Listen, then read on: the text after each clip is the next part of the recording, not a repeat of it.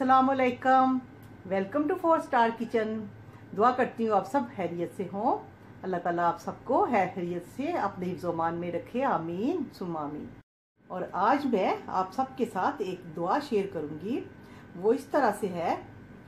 अल्लाह सुबहान ताला से दुआ करती हूँ, जिसने भी मेरे साथ बुरा किया, जिसने भी मुझे बुरा कहा, जिसने भी मेरी चुगली की, जिसने भी मेरा दिल दुखाया आज मैंने सबको अल्लाह ताला की रज़ा के लिए माफ़ किया। और अल्लाह ताला हम सबको, आप सबको अच्छे अमल करने की तोफ़ी अता फरमाए। आमीन सुम आमीन, और सबको माफ़ करने की भी तोफ़ी अता फरमाए। आमीन सुम आमीन। और आज मैं आप सबके साथ जो रेसिपी शेयर करने लगी हूँ, वो लाहौरी मुरख चने हैं, जो बहुत ही मज़े के बनते हैं। और मेरी रेसिपी से बनाइएगा इन आप ज़रूर एंजॉय करेंगे। और जो जो चीज़ें इसमें जाएँगी ये इसमें चिकन है, जो 400 ग्राम मैंने चिकन लिया है, और 600 ग्राम मेरे पास चने हैं, जिसको मैंने ओवरनाइट भिगोया था, और पानी इसका मैंने ड्रेन कर दिया है। और प्याज दो मीडियम साइज़ की इसमें जाएगी, दो छोटे टमाटर हैं जिसकी मैंने प्यूरी बना ली है one one and half tablespoon इसमें अदरक लहसुन का पेस्ट जाएगा टू टीस्पून इसमें ये काली मिर्च है, साबुत काली मिर्च मैंने ली है। इसको कूट के बाद में एंड पे हम इसमें शामिल करेंगे चनों में। हाफ़ टी स्पून इसमें साबुत ज़ीरा, वो भी एंड में शामिल करेंगे। एक टीस्पून मैंने मीठा सोडा लिया है, खाने वाला सोडा। ये हम चने बॉईल करते हुए उसमें ऐड करेंगे। और मसालों में इसमें जो जो कुछ जाएगा चिकन का जो हम मसाला बनाएँगे, इसमें one and half teaspoon नमक आप अपने टेस्ट के मुताबिक डाल लीजिएगा। हाफ़ टी स्पून इसमें सुरख मिर्च पाउडर हाफ़ टी स्पून से थोड़ी कम इसमें हल्दी जाएगी।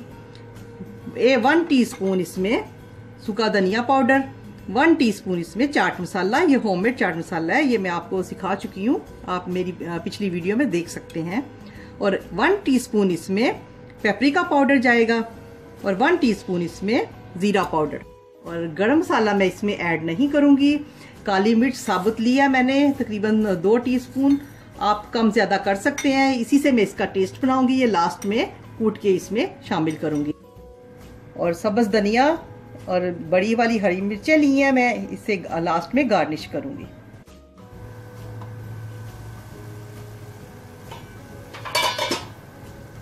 पतीली में तकरीबन ढाई लीटर पानी मैंने डाला था।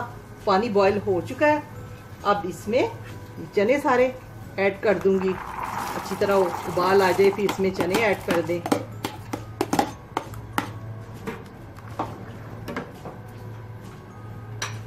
साथ ही ये मीठा सोडा भी ऐड कर दें, ताकि अच्छी तरह से ये गल जाएँ। इससे इसका बड़ा अच्छा टेस्ट बनेगा चना का।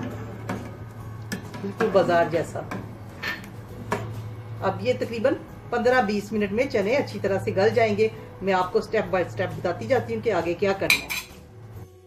और वन टीस्पून इसमें नमक भी ऐड कर दें। और ये पकने के लिए इसको रख दें और मीडियम आँच कर दें इसकी। एक तरफ़ मैंने चने पकने के लिए रख दिए अब दूसरी तरफ़ हम चिकन का मसाला तैयार करेंगे। सबसे पहले इसमें एक कप ऑयल ऐड करेंगे। और मीडियम फ्लेम पे हम ये अपना प्याज जो है, वो ये ब्राउन करेंगे। प्याज गोल्डन हो चुका है। अब इसमें अदरक लहसुन का पेस्ट ऐड कर दूँगी। इसको भी हल्का हल्का गोल्डन करेंगे।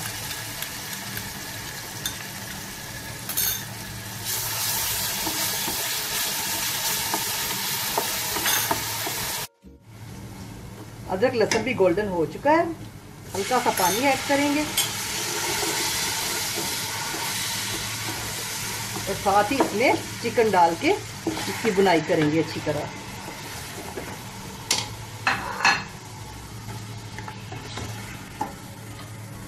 तेज आँच कर देंगे और इसकी ना अच्छी तरह से बुनाई करेंगे।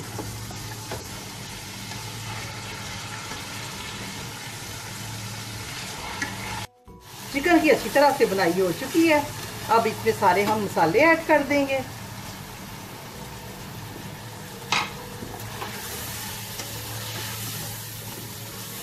अब साथ जो टमाटर की प्यूरी बनाई थी, वो भी साथ ऐड कर देंगे।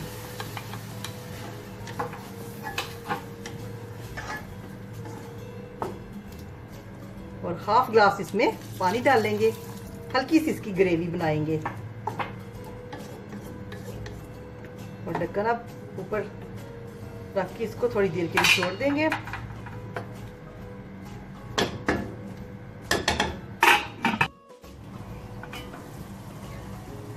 माशाल्लाह चिकन हमारा रेडी हो चुका है।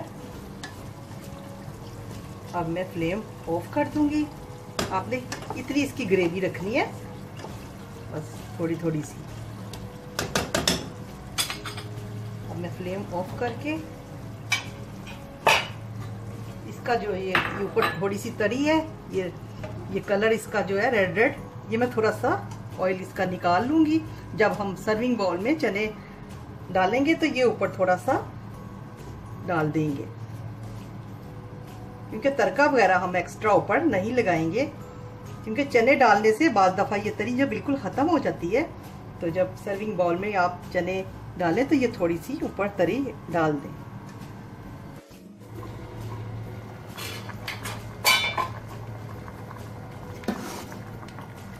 चने हमारे पूरी तरह से गल चुके हैं। आप देख सकते हैं ये। ज़्यादा गले हुए होने चाहिए। बिल्कुल ये हाथ लगाने से टूट रहे हैं ऐसे। पूरी तरह से ये गल चुके हैं। हम चनों को ये चिकन में ऐड कर देंगे। चनों को मैंने चिकन में ऐड कर दिया है। कुछ लोग इस तरह पसंद करते हैं। हल्का हल्का सा इसका शोरबा रख लेते हैं। लेकिन मैं इसको पानी को ड्राई करूँगी।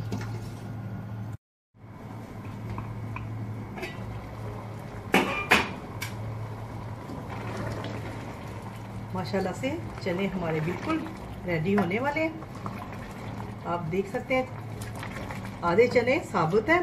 आधे मैंने डोई की मदद से ऐसे ऐसे हल्का हल्का उनको पीस लिया आप भी इस तरह थोड़े से चने को इस तरह पीस लेना है और थोड़े से साबुत रहने देने हैं। क्योंकि चने अच्छी तरह से गल चुके हैं। अब आप इस स्टेज पे इसका नमक भी टेस्ट कर लें। जितना आपको चाहिए, उतना आप रख लें। फिर हम इसमें ज़ीरा ऐड करेंगे। और कुटी हुई काली मिर्च, वो भी अपने टेस्ट के मुताबिक आप जितना दिल चाहे आप उतनी ऐड कर लीजिएगा। मैं इसमें दो टीस्पून पहले ऐड करके तो इसका टेस्ट कर लूँगी। अगर मुझे ज़रूरत पड़ी तो मैं और इसमें ऐड कर दूँगी।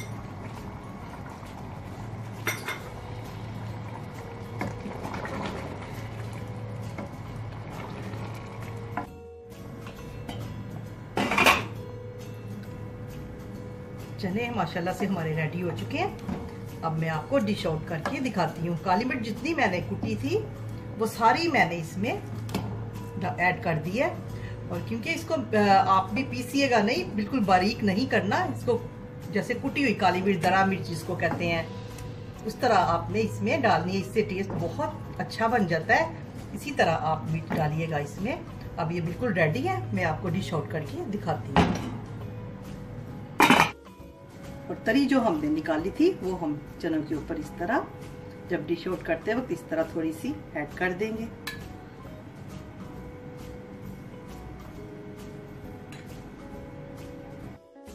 माशाल्लाह, अल्हम्दुलिल्लाह, हमारे लाहौरी मुर्ग चने बिल्कुल रेडी हो चुके हैं। इतनी ज़बरदस्त, माशाल्लाह, खुशबू आ रही है। आप इसको, छुट्टी वाले दिन, एक दिन पहले रात को इसको बना लीजिएगा और सुबह नान के साथ, पराठों के साथ एंजॉय कीजिएगा। और मुझे दुआओं में याद रखिएगा। और मेरे चैनल को प्लीज़ सब्सक्राइब करना ना भूलिएगा। और वीडियो को लाइक और शेयर कीजिएगा। और बेल के बटन को प्रेस करना ना भूलिएगा, ताकि आने वाली हर वीडियो आपको आसानी से सबसे पहले मिल सके। और इन मिलती है नेक्स्ट रेसिपी के साथ। अल्लाह निगेबान